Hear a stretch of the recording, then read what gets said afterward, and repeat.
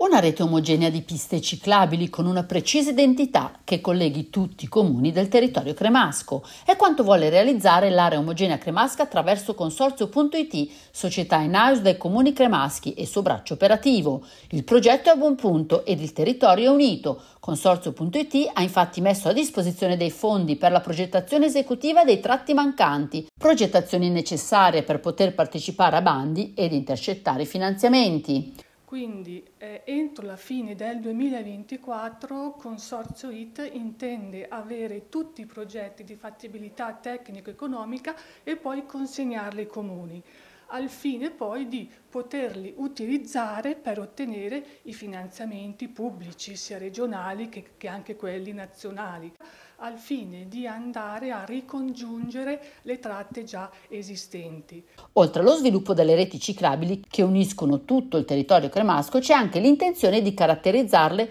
secondo una precisa identità L'ambizione, una volta reso omogeneo e coordinato il reticolo cremasco, è collegarlo alle ciclovie già esistenti e al mondo del cicloturismo provinciale lombardo.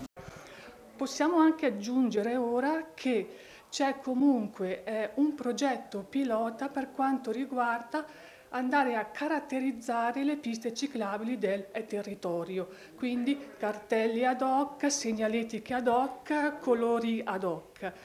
Al momento probabilmente il progetto pilota potrebbe essere la tratta Crema e Cremosano. Stiamo interloquendo con i due enti appunto al fine di poi mettere a terra.